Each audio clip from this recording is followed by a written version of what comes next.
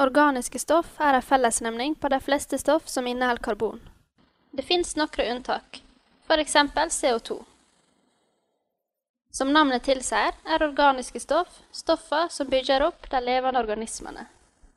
Vi finner organiske stoff i f.eks. poteter, sukker, appelsiner og papir. Næringsstoff som karbohydrat, fett, protein og vitamin er organiske stoff.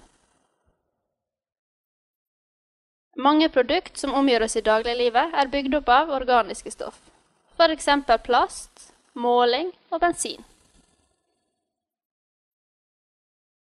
Siden karbon er grunnlaget for alle organiske stoff, er det nødvendig å se hvordan karbon er bygd opp for å forstå hvordan andre organiske stoff blir laga. Grunnstoffet karbon er nummer seks i periodesystemet.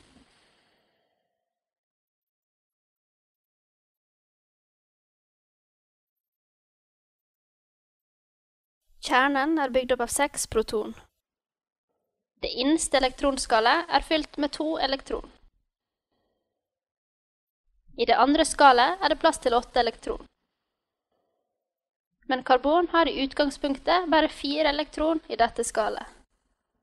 Karbon har altså fire ledige plasser i sitt ytterste elektronskall. Denne modellen av atomet blir kalt skallmodellen.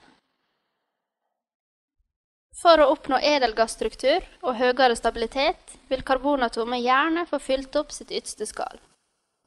Dette blir ofte kalt oktettregelen, fordi dette skallet har plass til åtte elektron.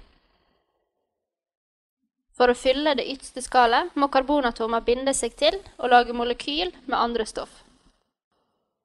Den enkleste organiske forbindinga er metan. Det er bygd opp av ett karbonatom og fire hydrogenatom.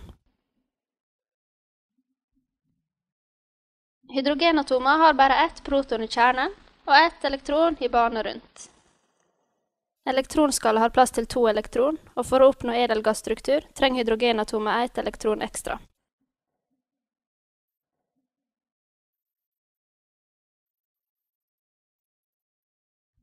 Ved å dele et elektronpar med karbonatomet vil hydrogenatomet fylle skallet. Her kan vi se at hydrogenatomet nå har to elektron i skallet sitt. Denne typen binding kalles elektronparbinding. Karbonatomet vil ved å dele elektronpar med fire hydrogenatom få fylt sitt ytterste skall med åtte elektron. Her har karbonatomet bundet seg til fire hydrogenatom med elektronparbindinger. For å oppnå edelgassstruktur må altså et karbonatom lage fire elektronparbindinger med andre atom. Måten vi har tegna på her, er litt omfattende dersom en skal tegne mye.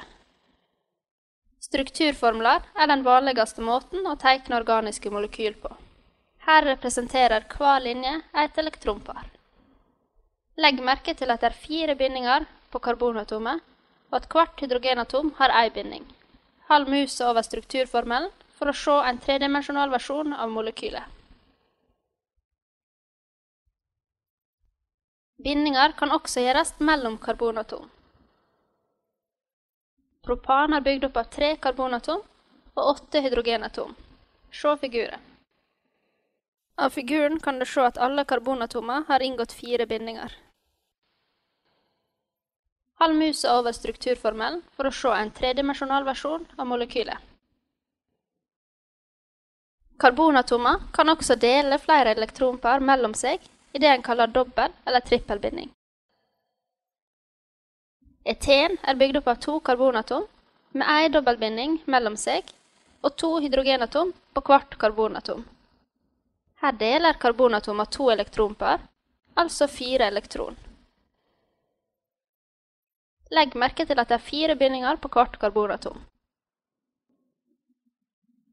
I figuren kan du se hvordan etin er bygd opp av to karbonatom som er bundne sammen med en trippelbinding. Da trenger hvert karbonatom bare å binde seg til ett hydrogenatom. Legg også merke til at det her er fire bindinger rundt hvert karbonatom. Dersom vi ser på hvordan elektroner er fordelte, kan vi se at seks elektron blir delt mellom de to karbonatomene. Legg merke til at hvert karbonatom har åtte elektron i sitt ytterste skall. Karbonatomer kan også binde seg til mange andre typer atom, f.eks. oksygen. Men vi skal ikke gå inn på dette her.